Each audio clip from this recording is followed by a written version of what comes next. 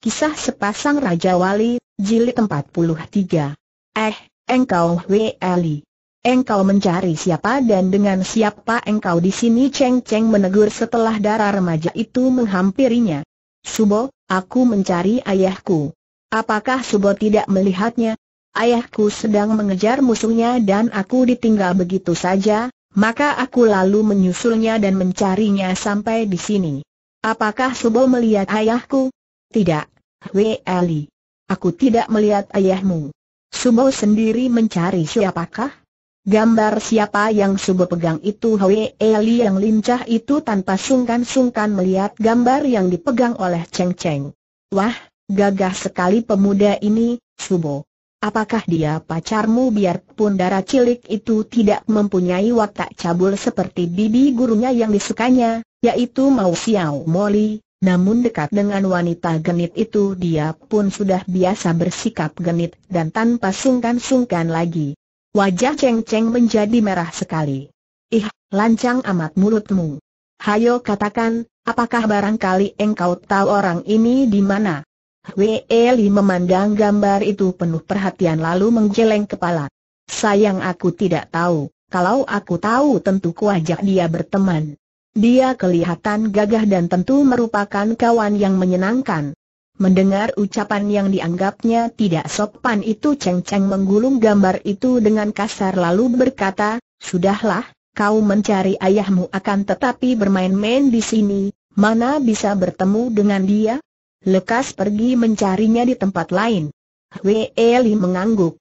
Subo, ingat, kalau aku sudah bertemu ayah, kelak aku akan mencarimu untuk mulai belajar ilmu itu. Cheng Cheng mengangguk tak sabar. Baik, baik, nah, kau pergilah Wei Eli tersenyum-senyum lalu pergi meninggalkan warung itu. Eh, Nona, agaknya Nona kehilangan pacar? Daripada mencari orang yang tidak ada, aku, eh haha, aku pun masih membujang.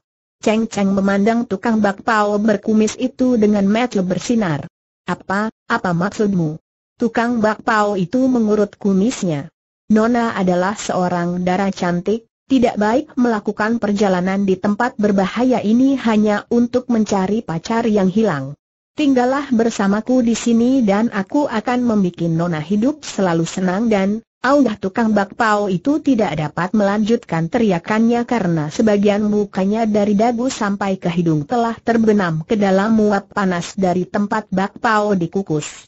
Setelah menampar dan mendorong orang itu sampai mukanya masuk ke dalam tempat masak bakpao yang sangat panas, Cheng Cheng mendengus dan membalikan tubuhnya menghampiri topeng setan yang sudah bangkit berdiri dan cepat membayar makanan lalu mereka berdua pergi dari tempat itu yang sudah menjadi ribut karena tukang bakpao itu merintih-rintih dengan muka bagian bawah terbakar dan melepuh. Topeng Setan dan Cheng Cheng berjalan tanpa bicara, dan setelah mereka keluar dari dusun itu barulah Topeng Setan bertanya, Cheng Cheng, siapakah anak perempuan yang muncul di warung bakpao tadi? Oh haha, dia? Dia adalah Kim Hwee Eli, dia puteri dari Hek Tiao Lomo. Hei tanda seru Topeng Setan terkejut bukan main. Hek Tiao Lomo yang telah memukulmu secara keji tentu saja orang tua bermuka seperti setan ini kaget bukan main dan juga terheran-heran. Hek Tiao Lomo memusuhimu, akan tetapi puterinya menyebutmu Subo, ibu guru. Apa artinya semua ini? Cheng Cheng tersenyum dan menghela napas. Memang di dunia ini banyak sekali terdapat hal-hal yang amat aneh, Paman Topeng Setan. Memang benar bahwa Hek Tiao Lomo adalah seorang kakek iblis yang jahat dan kejam, selain memusuhiku apabila kami saling bertemu, apalagi akhir-akhir ini ketika dia memukulku dia adalah kaki tangan pemberontak sedangkan aku menentang pemberontakan. Dulu, pernah aku bertanding dengan dia dan aku kalah, menjadi tawanannya. Akan tetapi putrinya, Kim Hwee Eli itu, menolongku dan membebaskan aku dengan janji bahwa aku akan suka menjadi sumonya. Karena ingin bebas, tentu saja aku mau dan begitulah, dia kemudian membebaskan aku. Akan tetapi, ayahnya sendiri demikian lihai, mengapa dia mengangkat engkau menjadi guru? Ayahnya lihai dalam ilmu silat memang, akan tetapi dalam hal ilmu tentang racun, aku sebagai murid Bantok Moli lebih unggul. Dia ingin belajar ilmu tentang racun dariku. Topeng setan menghela napas. Memang tidak keliru bahwa sebagai murid Bantok Moli, engkau adalah seorang ahli yang hebat tentang racun, Ceng Ceng. Akan tetapi, buktinya engkau malah celaka karena tubuhmu mengandung racun, sehingga pukulan Hek Cho atau Chiang dari Hak Tiao Lomo membuat nyawamu terancam. Ilmu tentang racun memang hanya suatu ilmu yang tentu saja penting untuk dipelajari. Akan tetapi dalam cara mempergunakannya lah yang penting. Kalau dipelajari untuk dipergunakan sebagai ilmu pengobatan, baik sekali, sebaliknya kalau untuk mencelakakan lawan, menjadilah ilmu hitam yang hanya dimiliki golongan sesat. Sungguh menyesal sekali bahwa seorang seperti engkau sampai mengalami hal yang membuatmu begini sengsara tiba-tiba topeng setan menghentikan kata-katanya dan berjalan sambil menundukkan mukanya. Cheng Cheng menoleh dan memandang dengan terheran-heran. Dia menangkap getaran suara aneh penuh keharuan dalam kata-kata topeng setan tadi dan sekarang makin heranlah dia ketika melihat sepasang metu yang besar sebelah itu setengah dipejamkan dan tampak ada air membasahi bulu-bulu mata itu. Topeng setan menangis. Paman topeng setan, berhenti sebentar, aku ingin bertanya sesuatu kepadamu. Topeng setan berhenti dan mereka berdiri berhadapan. Kau mau bertanya apa topeng setan bertanya sambil menundukkan muka. Paman, engkau selalu menaruh iba kepadaku dan selalu membela dan melindungiku, akan tetapi kulihat hidupmu sendiri merana, bahkan demikian tersiksa batinmu sampai-sampai engkau selalu menyembunyikan diri di belakang topeng setan ini. Kenapa begitu? Engkau menaruh kasihan kepadaku akan tetapi melupakan kesengsaraanmu sendiri. Apa yang menyebabkannya? Kalau hal ini belum kau jelaskan, hatiku selalu akan diganggu oleh keraguan dan keheranan, Paman. Topeng setan menghela napas, kemudian dengan suara terpaksa dia menjawab juga, engkau, mengingatkan kepadaku akan seorang wanita. Ya? Lanjutkanlah, Paman. Siapakah wanita itu dan di mana dia sekarang? Dia, dia telah mati. Oh, maafkan, Paman. Dia mati, karena aku yang membunuhnya. Aih! Cheng Cheng terbelalak dan melihat topeng setan kini berdiri membelakanginya dengan kedua pundak yang lebar itu berguncang, tahulah dia bahwa orang tua itu menahan tangisnya dan amat menyesali perbuatannya. Dengan hati terharu dia menghampiri dan memegang tangan orang tua itu. Paman, sukar dipercaya bahwa engkau telah membunuhnya, Padahal, agaknya engkau mencinta wanita itu, bukan? Topeng setan menahan napas menenangkan batinnya, dia mengangguk. Aku telah gila, aku telah melakukan dosa besar dan karena itu, tiada jalan lain bagiku kecuali menebus dosaku itu dengan jalan menjaga dan melindungimu, Ceng Ceng. Aih, paman topeng setan. Orang seperti engkau ini tidak mungkin melakukan perbuatan jahat. Kalau bibi itu, wanita itu, sampai mati olehmu, tentu dialah yang bersalah, dan jahatlah dia kalau bibi itu tidak dapat membalas cinta kasih seorang mulia seperti paman. Cukup. Dia baik dan suci seperti Dewi, akulah yang jahat. Melihat keadaan topeng setan yang amat menderita tekanan batin, Ceng Ceng lalu menghibur dan mengalihkan percakapan. Sudahlah, Paman. Tidak perlu kita membicarakan soal-soal yang telah lalu. Yang jelas, Paman adalah seorang yang paling mulia bagiku. Tapi engkau hidup merana, ceng-ceng. Engkau diracuni oleh dendam yang tidak kunjung habis. Ah, urusan kecil. Sekarang, yang penting seperti kata Paman dulu, aku harus berobat sampai sembuh, kemudian aku akan tekun belajar ilmu dari Paman, kemudian setelah kepandaianku menjadi tinggi, apa sukarnya untuk mencari keparat itu? Sekarang, jangan dia mengganggu perjalanan kita ke Telaga Sungari. Nah, biar belum dapat membunuh orangnya, biar ku bunuh dulu gambarnya Ceng Ceng lalu merobek-robek gulungan gambar dari Kokcu, musuh besarnya itu. Mari kita melanjutkan perjalanan ke Sungari mencari obat anak naga itu, Paman. Berangkatlah kedua orang itu dengan cepat karena kini tidak lagi mereka berhenti untuk menyelidiki musuh besar Cheng Cheng. Aunggah Tian Bu merapatkan matanya kembali ketika merasa betapa kepalanya pening berdenyut-denyut, tubuhnya sakit-sakit semua dan dia teringat betapa dia ditelan ombak air sungai, digulung dan dihanyutkan tanpa dapat berdaya sama sekali. Perasaan ngeri membuat dia memejamkan kembali matanya. Akan tetapi kini dia tidak merasa lagi tubuhnya dipermainkan gelombang air, bahkan dia merasa rebah di suatu tempat yang keras, kepalanya berbantal sesuatu yang lunak dan hangat, kemudian mukanya ada yang menyentuh, bukan air yang keras dan ganas melainkan sentuhan-sentuhan hangat dari jari-jari tangan yang dengan lunak memijat-mijat pelipisnya. Bagaimana? Pening sekalikah kepalamu? Akan tetapi tidak mengapa, air sudah keluar semua dari perutmu dan memang akibatnya agak pening di kepala, atau mungkin kepalamu terbanting kepada batu ketika hanyut. Kian Bu mendengarkan suara itu seperti dalam mimpi. Suara seorang wanita, merdu dan halus, dengan nada naik turun seperti orang bersenandung, atau seperti orang membaca sajak yang indah. Wanita. Dia teringat dengan kaget dan membuka matanya, apalagi ketika perasaannya mulai makin sadar, membuat dia dapat menduga bahwa kepalanya rebah di atas dua buah paha yang lunak dan hangat, di atas pangkuan seorang wanita. Begitu matanya terbuka, dia memejamkannya kembali karena silau. Bukan silau oleh sinar matahari pagi saja yang cerah, melainkan juga oleh wajah yang amat cantik, oleh sepasang mata panjang lentik, oleh sebatang hidung kecil mancung dan sepasang bibir yang merekah manis, perpaduan antara merahnya daging berkulit tipis dan putihnya gigi seperti mutiara. Kian Bu tersentak kaget ketika dia teringat dan mengenal wajah wanita itu. Cepat dia bangkit duduk dan menegur, mukanya merah sekali, Aih, Enci Hang Kui.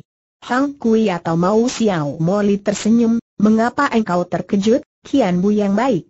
Tadi engkau gelisah sekali dalam tidurmu, mengeluh dan agaknya engkau mimpi terbawa air sungai, maka aku, eh haha, memangku kepalamu dan memijit-mijit. Bagaimana sekarang, apakah masih pening? Sikap wanita itu biasa saja dan diam-diam Kian Bu merasa terharu. Apakah wanita cantik ini benar-benar demikian mencintanya bagaikan seorang kakak perempuan yang mencinta adiknya? Akan tetapi, sikapnya benar-benar terlalu mesra dan darahnya masih berdesir ketika teringat betapa tadi rebah dengan kepala di atas pangkuan wanita cantik itu. Ti, tidak, Enci. Terima kasih. Ah, kiranya sudah pagi, Biar aku pergi, dia teringat akan janjinya untuk membantu wanita itu mencari obat di Telaga Sungari, maka cepat disambungnya, marilah kita pergi mencari mereka. Lau Hang Kui tersenyum mengangguk tanpa menjawab dan mereka lalu bangkit berdiri. Tanpa banyak cakap mereka lalu menyusuri sungai itu mencari-cari, akan tetapi sampai setengah hari lamanya, mereka tidak berhasil menemukan jejak dari Siang Indan yang lain-lain, Seolah-olah rakit mereka itu telah ditelan air sungai yang ganas semalam. Melihat wajah Tian Bu yang berduka serta khawatir, Hang Kui segera memegang lengannya dan berkata, Jangan kau khawatir, Tian Bu. Aku yakin bahwa mereka itu tidak mengalami malapetaka dan masih dapat menyelamatkan diri mereka.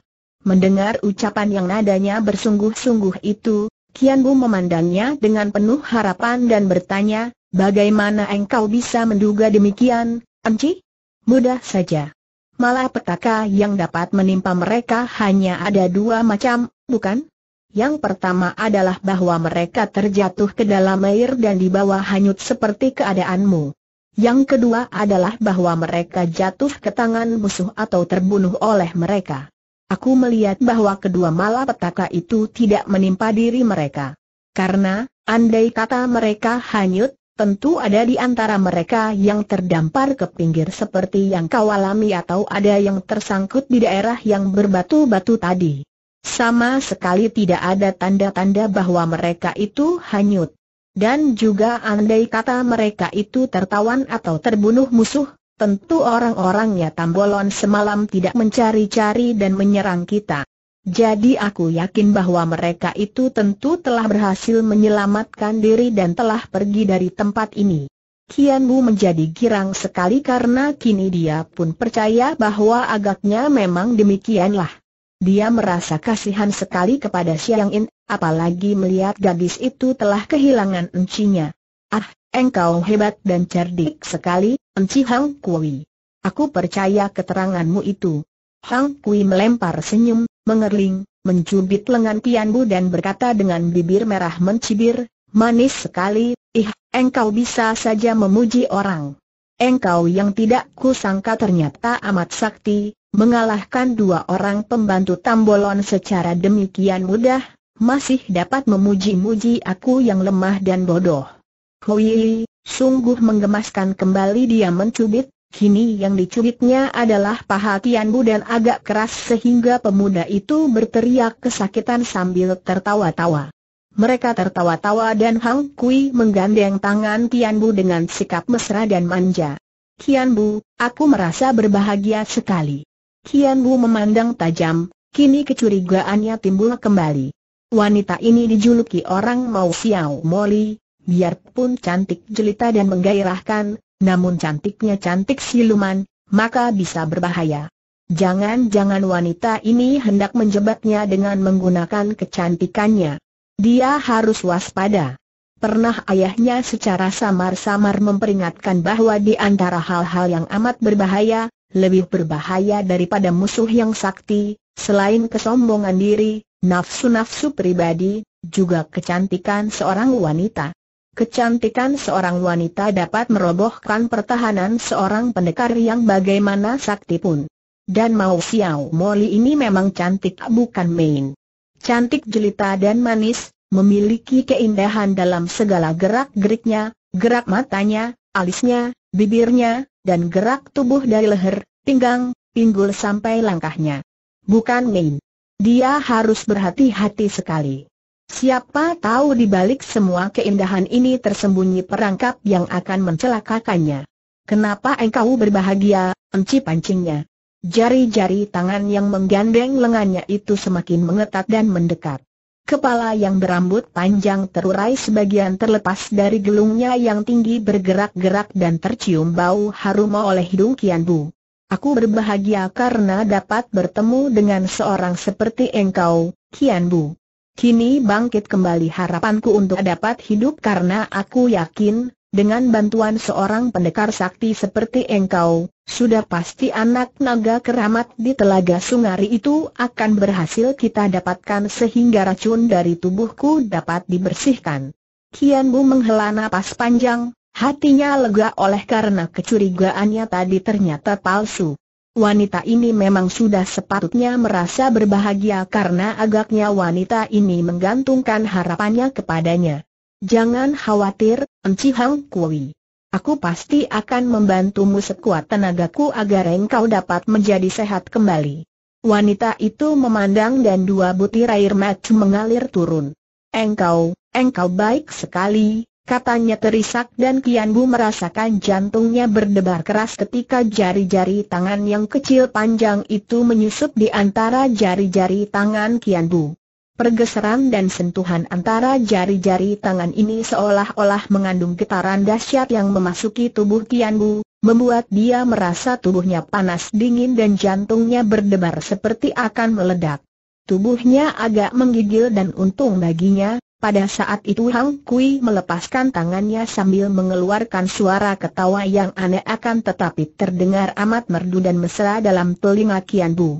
Suara ketawa yang mirip bunyi seekor kucing yang memanggil-manggil pasangannya di waktu malam. Mau Xiao Mo Li Lau Hang Kui adalah seorang wanita yang biarpun usianya baru 30 tahun, tetapi telah memiliki pengalaman matang dalam hal bermain cinta dan mempermainkan seorang pria. Dia sekali ini benar-benar terjebak ke dalam permainan dan nafsunya sendiri. Dia jatuh cinta, belum pernah selama hidupnya dia mengalami perasaan seperti ini terhadap seorang pria. Biasanya, dia mempermainkan pria, seperti seekor kucing betina kelaparan mempermainkan seekor tikus, dipermainkan lebih dulu sebelum diganyang dan kemudian ditinggalkan bangkainya begitu saja, sama sekali tak diingatnya lagi. belum pernah dia dapat bertahan lebih dari tiga hari tiga malam mengeram seorang pria. Kebosanannya timbul dan dia akan meninggalkan korbannya yang kebanyakan tentu dibunuhnya dulu. Akan tetapi sekali ini, bertemu dengan Kian Bu, dia benar-benar jatuh cinta. Dia sama sekali tidak merasa seperti seekor kucing yang mempermainkan tikus, melainkan seperti seekor kucing yang haus akan belayan manusia yang lebih kuat. Pemuda ini bukan hanya tampan, karena ketampanan mudah didapatkan di antara orang-orang muda, akan tetapi yang amat menarik hatinya adalah karena pemuda ini adalah seorang yang memiliki kesaktian hebat, lebih tinggi daripadanya, dan terutama sekali seorang perjakatulan yang dia tahu mempunyai sifat romantis.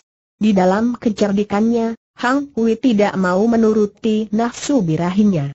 Dia bersikap hati-hati dan biarpun tadi belayannya membuat pemuda itu mulai tergetar, namun dia tidak mau terlalu mendesak, karena sekali pemuda sehebat ini timbul kecurigaannya, akan berbahayalah.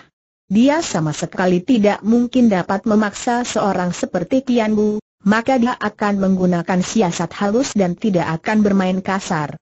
Sumakian Bu adalah putra pendekar super sakti, dan ibunya adalah bekas ketua Tian Liong Pang. Dia adalah seorang pemuda gemblengan yang memiliki kepandaian hebat dan kegagahan luar biasa. Akan tetapi, menghadapi seorang wanita matang seperti Lau Hang Kui, tentu saja dia itu hanya seorang pemuda hijau. Andai kata Mau Xiao Moli mempergunakan kekerasan dan kepandaian silatnya, Tentu dalam waktu singkat saja dia akan roboh oleh pemuda itu dan andai kata dalam rayuannya dia terlalu tergesa-gesa, tentu pemuda perkasa itu akan menjadi curiga dan sadar. Akan tetapi, Hang Hui terlalu cerdik dalam hal ini dan dia menjatuhkan hati Kian Bu secara perlahan-lahan, secara cerdik sekali dan tidak kentara sehingga setelah mereka melakukan perjalanan beberapa hari lamanya, Kian Bu telah percaya penuh bahwa wanita ini benar-benar seorang wanita yang patut dikasihani, seorang yang baik-baik akan tetapi tidak kebetulan menjadi semuai dari orang-orang jahat macam Hek Tiao Lomo Ketua Pulau Neraka dan mendiang Hek Hwe Akuibo. Wanita ini amat ramah, amat halus dan sopan. Dan di dalam perjalanan itu Hang Kui selalu menonjolkan keringanan tangannya, melayani Kian Bu, dan sikapnya penuh rasa sayang seorang kakak perempuan terhadap seorang adiknya. Maka, diam-diam Kian Bu juga mengambil keputusan untuk mengerahkan segenap kepandaiannya berusaha menangkap anak naga di telaga Sungari untuk menyembuhkan keracunan di dalam tubuh Hang Kui. Pada suatu siang yang amat panas mereka mengasuh di dalam hutan dan duduk di bawah sebatang pohon yang lebat daunnya. Sambil bersenandung merdu, Hang Kui memanggang daging ayam hutan yang tadi ditangkap oleh Tian Bu dan kini pemuda itu duduk beristirahat tidak jauh dari tempat itu. Ketika Kian Bu sedang terlena mengantuk, tiba-tiba dia mendengar suara Hang Kui menjerit. Dia terkejut sekali dan tubuhnya telah bergerak meloncat, lalu menyambar tubuh Hang Kui yang terhuyung dan ketika dia memeluk tubuh wanita itu ternyata Hang Kui telah pingsan. Kian Bu terkejut bukan main, dan cepat dia mengurut jalan darah di tengkuk wanita itu. Hang Kui membuka matanya, lalu menjerit, ular, ahaha, Kian Bu, ada ular matanya terbelalak dan telunjuknya menuding ke atas pohon. Kian Bu menengok dan hampir dia tertawa bergelak. Seekor ular hijau kecil merayap ketakutan di antara daun-daun di cabang pohon itu. Enci Hang Kui, kau kenapakah? Mengapa kau pingsan dan ular kecil itu? Aih, maafkan aku, Kian Bu, Hang Kui menggunakan sapu tangan untuk menyusuti peluh dari dahinya yang pucat sekali. Engkau belum ku beritahu, aku, aku paling takut melihat ular. Kian Bu tersenyum lebar dan memandang aneh. Mereka sudah duduk kembali dan Hang Kui melanjutkan pekerjaannya memanggang daging setelah beberapa kali dia menengok ke atas dan melihat bahwa ular itu sudah tidak tampak lagi. Enci Hang Kui, engkau seorang yang memiliki kepandaian begitu tinggi takut melihat seekor ular kecil itu? Biar ada seratus ekor seperti itu, mana mungkin bisa mengganggu seorang lihai seperti engkau? Ah, engkau tidak tahu, Kian Bu. Andai kata aku tidak takut terhadap ular, tentu sudah sejak dahulu aku pergi mencari anak naga di telaga Sungari itu. Akan tetapi, aku amat takut melihat ular. Enci, sungguh aneh sekali. Mengapa orang yang lihai seperti engkau takut melihat ular? Aku bukan takut, akan tetapi lebih dari takut, aku jijik sekali dan bisa pingsan kalau melihatnya. Dan tentu saja ada sebabnya, tapi, eh, malu aku untuk menceritakan pengalamanku di waktu aku baru berusia belasan tahun itu, wanita itu lalu menunduk. Kedua pipinya yang halus menjadi kemerahan, dari bawah matanya mengerling tajam ke atas dan bibirnya menahan senyum, giginya yang putih menggigit bibir bawah. Sikap malu-malu kucing ini kelihatan manis dan menarik sekali sehingga timbul keinginan tahu Kian Bu untuk mendengar cerita yang tentu aneh itu sehingga orangnya sampai merasa malu untuk bercerita. Enci Hang Kui, di antara kita yang sudah seperti kakak dan adik sendiri, mengapa engkau merasa malu? Ceritakanlah, apa yang telah terjadi sehingga engkau yang begini lihai sampai pingsan ketakutan melihat seekor ular kecil tadi. Terjadi di waktu aku berusia kira-kira 13 tahun, wanita itu bercerita sambil menunduk dan memperhatikan daging yang dipanggangnya. Pada suatu hari saat aku tertidur dalam kamarku, tengah malam aku terbangun dengan kaget sekali dan, dan, dapat kau bayangkan betapa ngeri dan jijik serta takutku ketika aku merasa ada sesuatu yang dingin bergerak-gerak di dalam celanaku, di paha. Kian Bu terbelalak, Mulutnya ternganga memandang wanita itu yang hanya mengangkat muka sebentar memandangnya kemudian menunduk kembali dengan pipi yang makin kemerahan. Ketika aku cepat-cepat melepas pakaian, ternyata, benda bergerak itu adalah seekor ular hitam. Aku menjerit-jerit dan jatuh pingsan. Nah, semenjak saat itulah setiap kali melihat ular, terbayang kembali kengerian hatiku di waktu dahulu itu dan aku tak kuat menahan hening sejenak.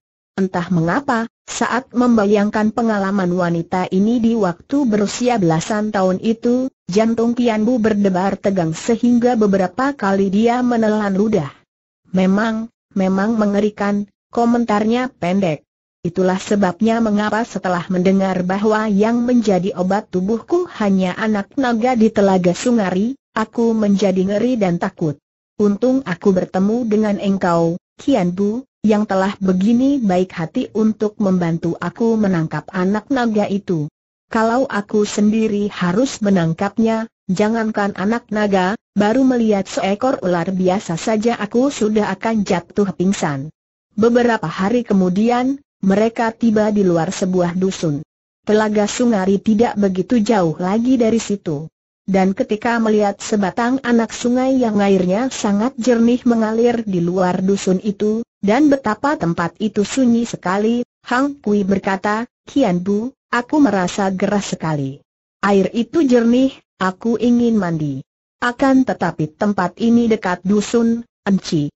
Tentu akan ada orang lewat nanti.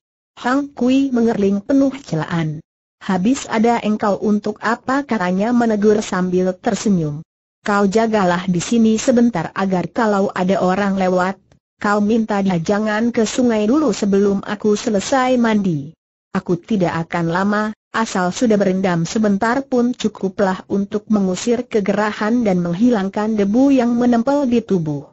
Baiklah, Kian Bu kemudian duduk di tepi jalan, membelakangi anak sungai yang tidak begitu jauh dari jalan kecil itu. Memang siang hari itu hawanya sangat panas dan Kian Bu membuka kancing bajunya menelanjangi dada agar terhembus angin lalu. Hatinya gembira. Selama melakukan perjalanan dengan Hang Kui, dia makin tertarik dan kagum kepada wanita itu. Gayanya yang genit memikat, persis seperti yang dulu ditirukan oleh Xiang In, tetapi tentu saja lebih memikat karena gerak-gerik Hang Kui tidak dibuat-buat, memang sudah menjadi wataknya. Biarpun genit memikat, namun wanita ini sopan dan amat baik terhadap dia, tidak pernah mengeluarkan kata-kata cabul, apalagi melakukan sesuatu yang tidak sopan. Hanya setiap kali mereka bersentuhan, seperti ada aliran hawa panas keluar dari tubuh wanita itu menjalar di seluruh tubuhnya dan menggoncang jantungnya. Eh, ular, tolong! Kian Bu! Jerit ini mengejutkan Kian Bu. Sekali meloncat dia telah mengejar ke pinggir sungai dan alangkah kaget hatinya ketika dia melihat tubuh Hang Kui rebah miring dengan kepala masuk ke dalam air, sedangkan seekor ular hitam yang panjangnya ada satu meter berenang terbirit-birit meninggalkan tempat itu menyeberang anak sungai. Celaka, pikirnya, kalau saja tidak cepat ditolong, Hang Kui yang pingsan dengan kepala terbenam air itu tentu akan kehabisan napas dan tewas. Karena itu dia lalu meloncat mendekati, memasuki anak sungai yang airnya hanya setinggi lututnya, kemudian dia mengangkat tubuh Hang Kui yang lemas. Dapat dibayangkan betapa kacau perasaan Tian Bu ketika mengangkat tubuh yang sama sekali tidak berpakaian, yang telanjang bulat itu. Ketika mengangkat tubuh polos itu, dia mencoba untuk memejamkan mata dan tidak melihat. Akan tetapi tangannya dan lengannya menyentuh kulit tubuh yang mulus dan hangat, dan jantungnya berdebar hampir copot dari tempatnya. Dan dia pun tidak mungkin memejamkan mata, terus karena dia harus membawa Hang Kui ke tepi anak sungai. Tidak lupa dia menyambar pakaian wanita itu yang tadi terletak di atas sebuah batu. Teringat bahwa wanita itu tentu akan merasa malu sekali kalau sadar nanti dalam keadaan polos, Kian Bu lalu cepat-cepat mengenakan pakaian Hang Kui pada tubuh itu. Dan tentu saja untuk dapat melakukan ini, dia harus membuka matanya, dan karena dia membuka matanya, tentu saja dia melihat dengan jelas semua bagian tubuh yang berada di depan hidungnya. Sekali melihat, dia tak kuasa lagi untuk menahan matanya yang menjelajahi semua bagian tubuh yang mulus dan menggairahkan itu. Berkali-kali dia menelan ludah sebab merasa lehernya seperti dicekik. Jari-jari tangannya menggigil sehingga sampai lama barulah akhirnya dia berhasil mengenakan pakaian itu pada tubuh Hang Kui, walaupun setengah memaksa kedua tangannya yang agaknya mau mogok saja. Begitu akhirnya Kian Bu selesai mengenakan pakaian Hang Kui, wanita itu siuman dan mengeluh, kemudian merangkul pinggang Kian Bu sambil merintih ketakutan, ular, ular. Kian Bu tersenyum, merasa geli juga melihat wanita yang dia tahu amat lihai ini menjadi begitu ketakutan seperti anak kecil ketika bertemu ular. Ularnya sudah pergi, Enci Hang Kui. Wanita itu kembali mengeluh, lalu tiba-tiba merenggutkan tubuhnya dan melepaskan pelukannya, melihat ke arah tubuhnya yang sudah berpakaian. Eh haha, ah, aku tadi sedang mandi, ada ular hitam menjijikan kau menjerit dan aku melihat engkau pingsan di air, Enci. Dan aku, muka yang halus itu menjadi merah sekali dan matanya mengerling malu-malu, sikap yang bahkan amat manis dan menarik hati, aku tadi sedang mandi, ku tanggalkan pakaianku. Kini Kian Bu memandang dengan muka terasa panas. Aku yang mengenakan kembali pakaianmu, Enci Hang Kui. Aih, engkau, engkau baik sekali, Kian Bu. Kian Bu yang masih hijau itu tentu saja sama sekali tidak menduga bahwa ular-ular itu, baik yang merayap di cabang pohon maupun di sungai, adalah ular-ular yang sengaja ditangkap oleh Hang Kui dan dilepas di dekatnya, tidak tahu bahwa wanita ini sama sekali tidak takut terhadap ular yang bagaimana juga pun, bahkan sejak kecil dia telah biasa bermain-main dengan ular berbisa. Kian Bu tidak tahu bahwa wanita itu secara halus dan cerdik sekali mulai menggoda dan memikat hatinya. Dan memang hati Kian Bu terguncang hebat sekali. Mula-mula hatinya sudah tergerak oleh cerita Hang Kui yang membuat dia selalu membayangkan yang bukan-bukan, kemudian dia disuguhi pemandangan yang amat mengesankan, melihat tubuh telanjang bulat yang menggairahkan itu, sehingga setiap kali memandang Hang Kui, dia melihat seolah-olah wanita itu tidak berpakaian. Penglihatan itu terus menggodanya, membuat dia selalu terbayang akan hal yang mesra dan sering kali Kian Bu termenung. Dia tidak tahu betapa Hang Kui sering kali tersenyum puas dan sepasang matanya kelihatan bersinar-sinar karena wanita yang berpengalaman ini dapat menduga bahwa siasatnya telah berhasil dan dia telah berhasil mengisi hati dan pikiran pemuda yang dicintanya ini dengan nafsu birahi yang berkobar. hanya berkat pendidikan yang baik di Pulau Es saja yang membuat Tian Bu masih dapat bertahan dan selalu menindas kobaran nafsu birahi itu. Akan tetapi, pemuda ini merasa tersiksa sekali dan kini dia melihat setiap gerak-gerik Hong Kui sebagai sesuatu yang amat indah dan manis membangkitkan birahinya. Apalagi memang sikap Hong Kui tepat seperti yang dikatakan Siang In dulu, yaitu genit memikat, baik cara matanya memandang dan mengerling, Care bibirnya bergerak dalam tersenyum atau berkata-kata, gerak lehernya, lengannya, pinggang dan pinggulnya ketika berjalan, sentuhan-sentuhan halus ujung jari tangannya, harum wangi-wangian yang keluar dari tubuhnya dan rambutnya, getaran pada suaranya yang mesra. Bagaikan seekor laba-laba yang menjerat seekor lalat, Hang Kui terus memperketat jeratnya dan matanya yang penuh pengalaman itu melihat betapa lalat itu menjadi makin lemah, makin berkurang daya tahan dan daya lawannya, sampai dia yakin benar bahwa lalat itu sudah siap dan matang untuk dihisap darahnya. Dan malam itu, ketika mereka berdua bermalam di sebuah rumah penginapan di dalam sebuah dusun, dia mengambil keputusan untuk melakukan penerkaman terakhir. Dia sengaja memesan masakan-masakan lezat dan arak wangi sampai dua guci besar. Ketika Kian Bu menyatakan keheranannya, Hang Kui berkata sambil tersenyum manis.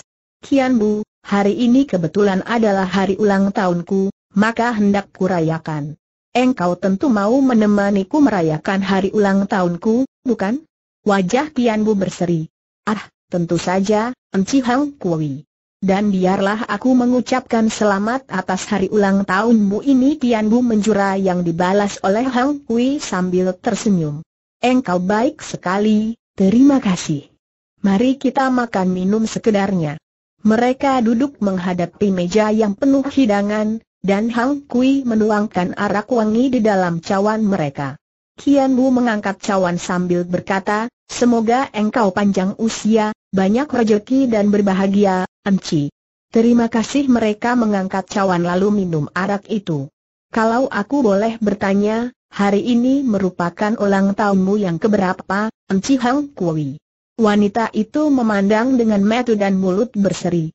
Cobalah engkau terka, berapa kiranya umurku sekarang, Kian Bu? Kian Bu memandang wajah yang cerah itu. Dia dapat menduga bahwa wanita ini tentu lebih tua daripada nampaknya, mengingat bahwa suhengnya, Hek Tiao Lomo adalah seorang kakek, dan sucinya, mendiang Hek Wan Kuibo, adalah seorang nenek. Akan tetapi melihat wajah yang cantik itu, orang akan menduga bahwa wanita ini tidak akan lebih dari 25 tahun usianya. Dan Kian Bu yang sejak keluar dari Pulau Es sudah sangat memperhatikan wanita, mengerti bahwa wanita paling suka mendengar dugaan orang bahwa dia masih muda, maka sambil tersenyum dia menjawab, menurut dugaanku, usiamu paling banyak 20 tahun, Enci. Hai hai hit hang Kui tertawa merdu sambil menutupi mulutnya dan matanya mengerling tajam. Masa kau kira aku semuda itu, Kian Bu? Bukan paling banyak 20 tahun, melainkan 22 tahun, Usiaku sudah 22 tahun, Kian Bu. Aih, tanpa kusadari aku sudah menjadi sangat tua, bukan? Setua nenek-nenek, dia menarik napas panjang. Siapa bilang engkau sudah tua, Enci? Sama sekali tidak.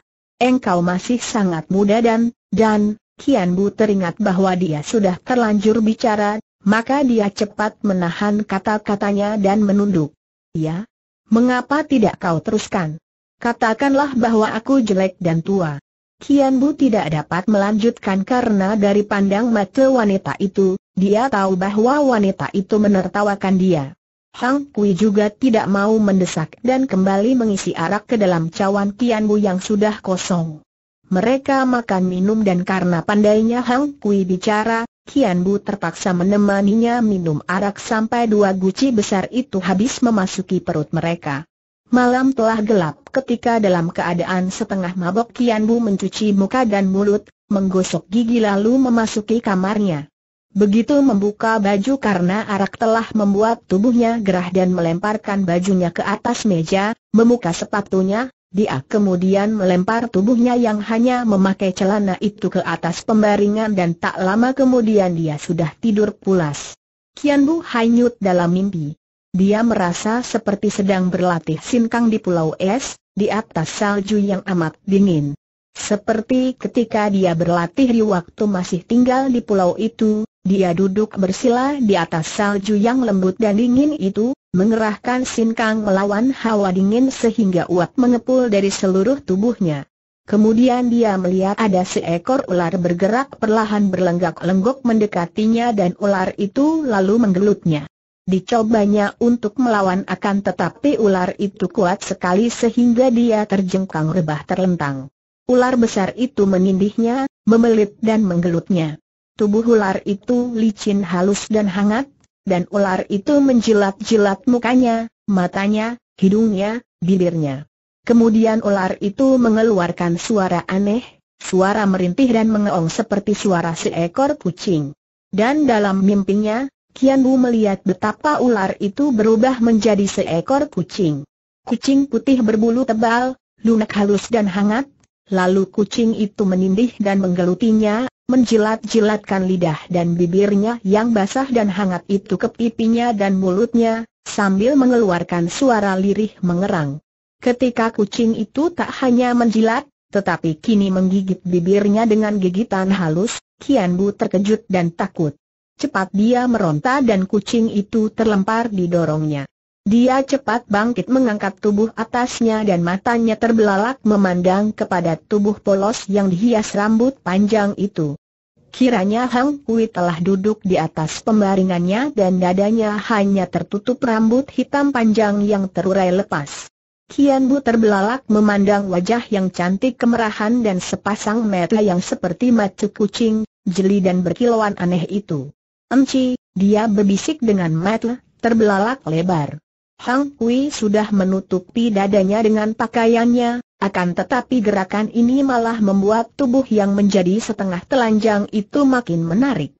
Kiranya wanita itu telah memasuki kamarnya, dan hal ini tidak sukar sama sekali bagi wanita yang lihai itu, dan telah menyalakan lampu tanpa diketahui Kian Bu yang tadi tidur pulas. Kian Bu, Kian Bu, kasihanilah aku, Hang Kui lalu menubruk pemuda yang masih bengong itu dan menangis, lalu memeluk lehernya dan mendekapkan mukanya di dada pemuda yang telanjang itu. Enci, apa, apa artinya ini Kian Bu gelagapan? Artinya, bahwa aku, aku cinta padamu, Kian Bu, kau kasihanilah aku, tangan Hang Kui terjulur ke arah lampu dan di lain saat lampu itu pun padam. Kamar menjadi gelap sekali akan tetapi Kian Bu tidak membutuhkan penerangan karena tubuhnya merasa betapa wanita itu mendekap dan menciuminya penuh nafsu. Kian Bu hanyalah seorang pemuda yang baru menjelang dewasa. Dia masih hijau dan sebelumnya dia telah digoda secara halus oleh Hang Kui.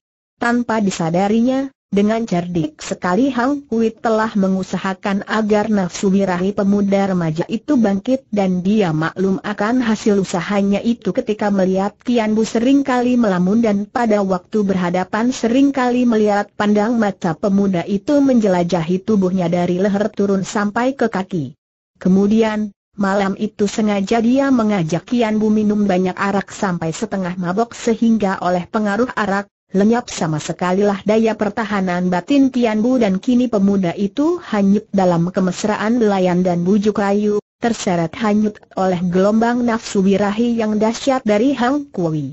Wanita itu merupakan guru yang amat pandai dalam permainan cinta sehingga makin dalamlah Tian Bu tenggelam dan makin jauh dia terhanyut sehingga semalam suntuk itu dilewatkan oleh Tian Bu sebagai suatu malam yang amat indah dan nikmat.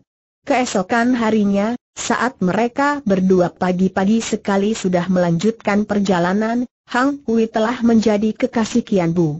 Wanita ini telah berhasil menundukkan dan menguasai Kian Bu yang menjadi tergila-gila, mabok oleh permainan cinta Hang Hui, dirayu oleh suara aneh seperti kucing mengerang yang bagi Kian Bu merupakan pendengaran yang menambah berkobarnya nafsu birahinya.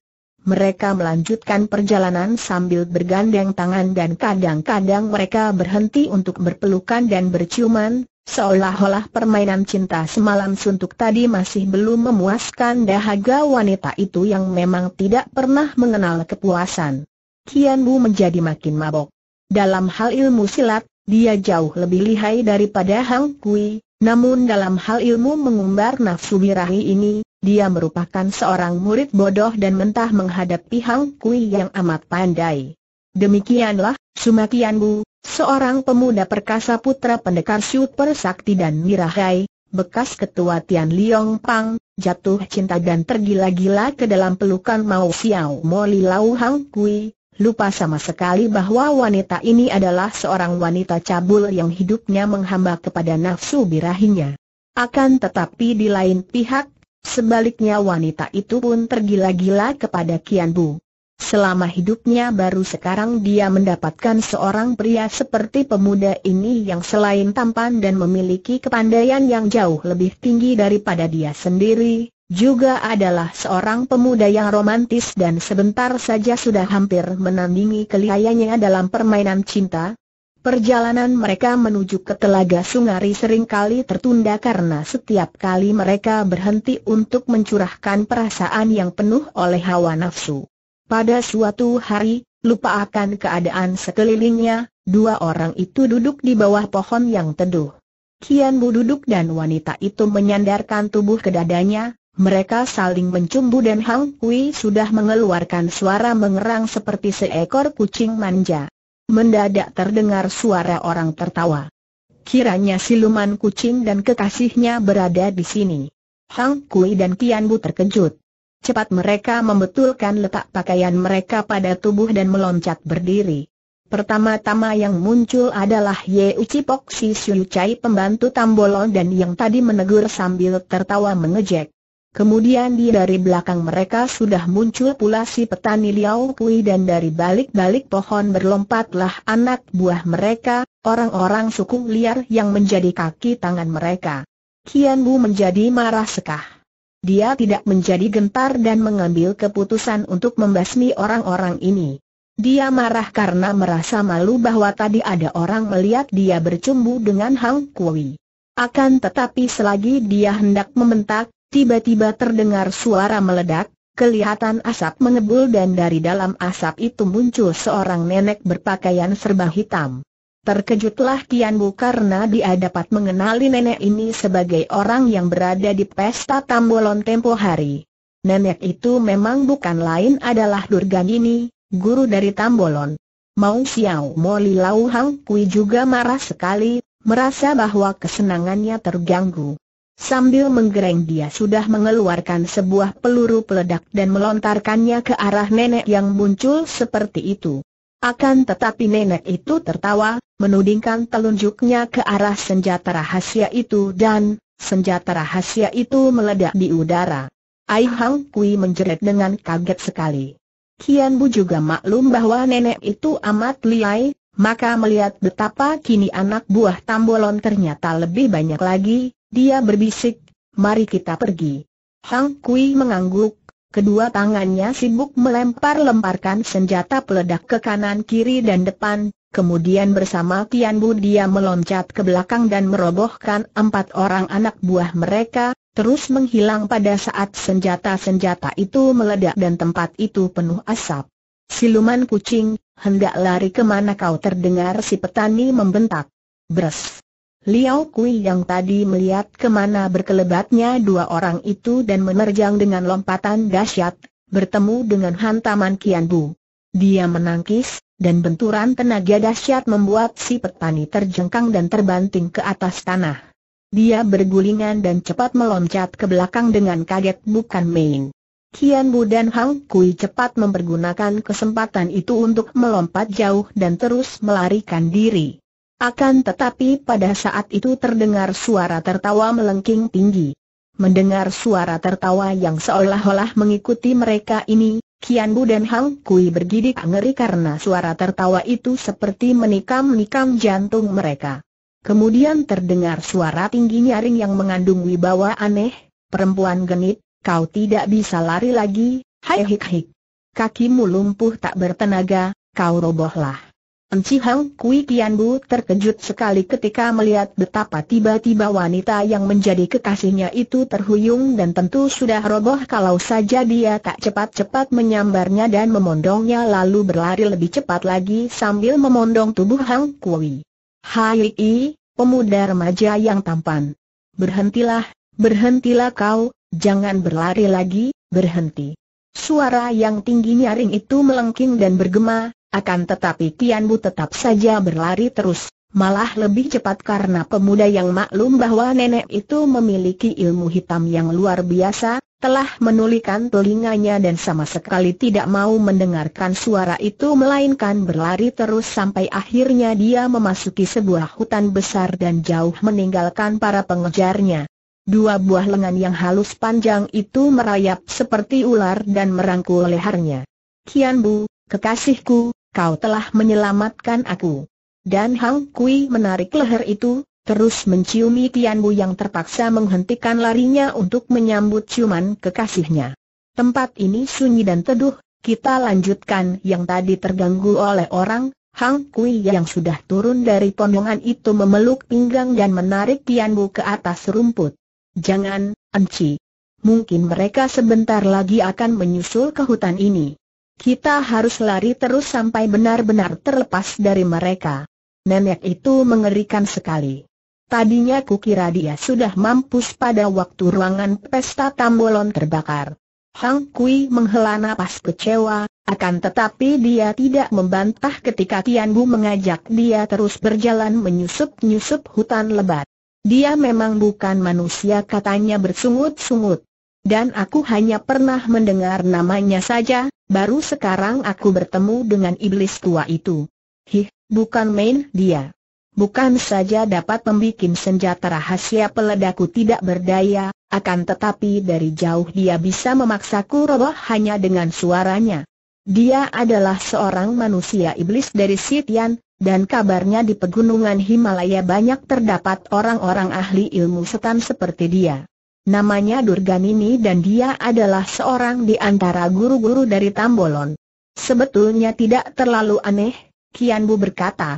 Orang yang memiliki kekuatan sihir tidak sukar meledakkan senjatamu di udara dan tadi dia menggunakan hikang yang mengandung kekuatan sihir untuk merobohkanmu. Kalau kau mengerahkan sinkang, atau kalau kau menulikan telinga tidak mendengar suaranya, tentu dia tidak akan dapat mempengaruhimu.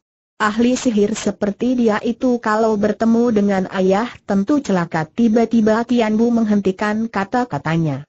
Dia teringat bahwa tidak semestinya dia membawa-bawa nama ayahnya, apalagi memperkenalkan ayahnya kepada Hang Kui. Akan tetapi, pemuda ini terlalu memandang rendah Hang Kui yang luar biasa cerdiknya. Semenjak Tian Bu bertekuk lutut oleh rayuan mautnya, dia selalu berusaha menyelidiki riwayat Tian Bu yang benar-benar telah merampas hatinya, yang membuat dia jatuh cinta.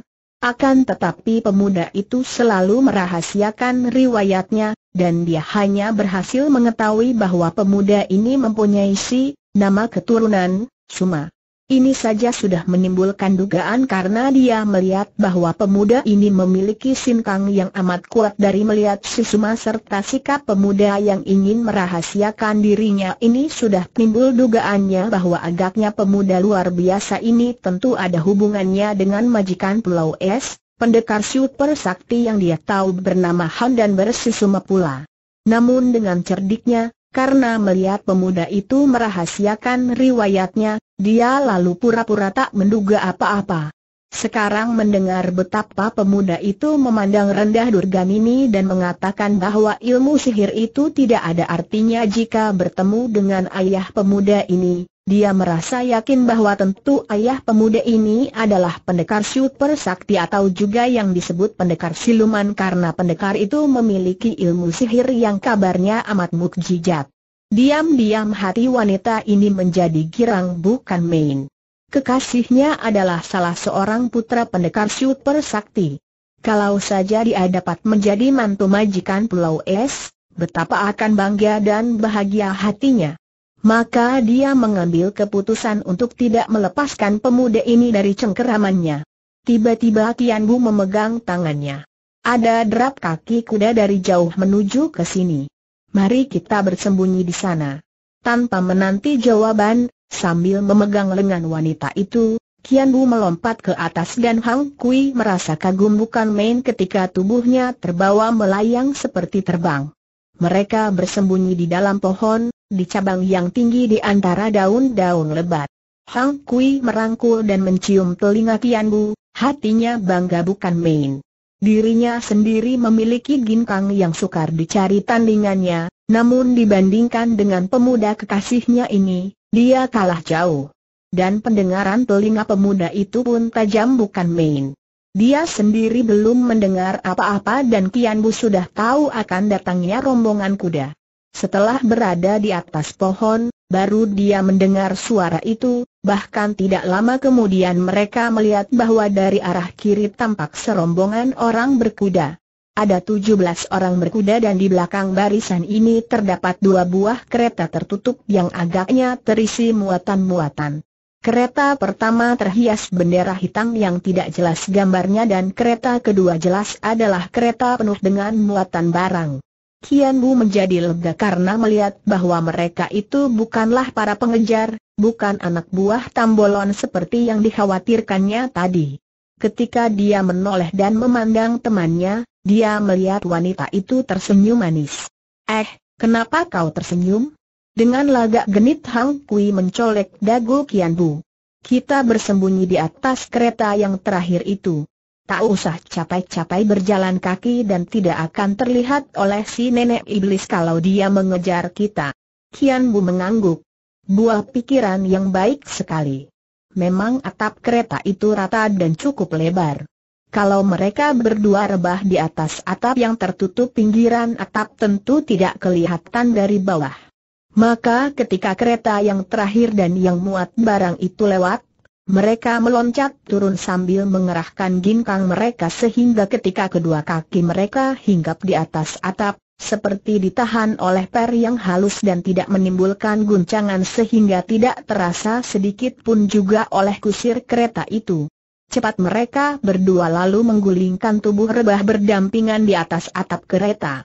Hai hik, enak di sini Hang Kui sudah terkekeh genit, membalikan tubuh menghadapi kekasihnya, kaki dan tangannya sudah memeluk. His, jangan di sini. Siang-siang begini, dan malu kalau kelihatan orang Tianbu berbisik mencela sambil bergurau, akan tetapi dia mencium pipi kekasihnya yang cemberut oleh penolakannya itu sehingga Hang Kui tersenyum lagi.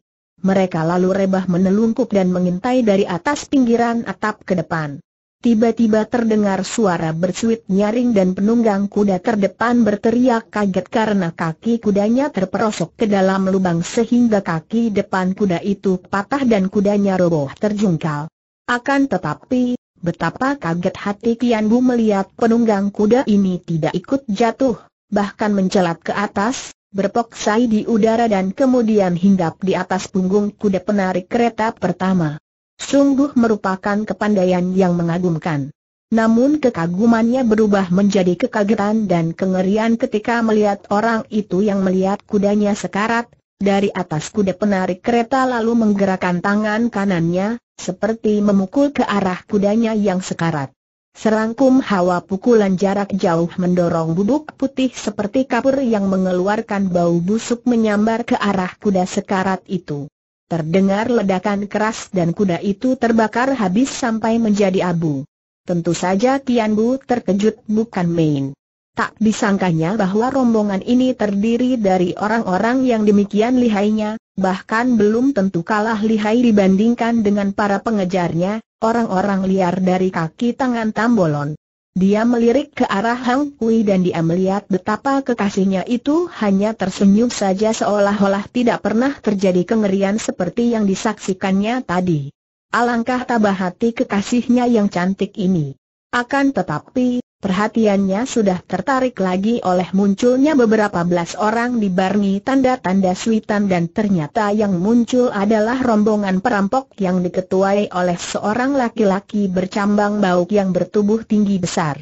Mereka itu pun kelihatan heran dan jari melihat betapa kuda tadi dapat terbakar habis, maka kini kepala rampok yang agaknya setelah melihat peristiwa itu bersikap hati-hati dan lunak, lalu berkata, suaranya parau dan keras, sahabat-sahabat yang lewat harap suka menolong kami orang-orang kekurangan dengan sedikit sedekah sebagai pembagian rejeki. Dari kereta pertama itu tiba-tiba terdengar suara yang berat dan malas-malasan, kalian menghendaki sedekah? Nih, maju dan terimalah. Kepala rampok menjadi girang, lalu meloncat dekat kereta dan ketika dari dalam kereta itu menyambar sebuah pundi-pundi, dia cepat menyambutnya. Pundi-pundi itu berat dan segera dibuka tali pengikatnya.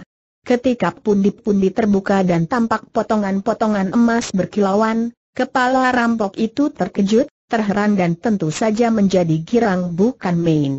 Dia mengelus jenggot yang lebat, mengucak-ucak matanya kemudian tertawa dan menjura ke arah kereta.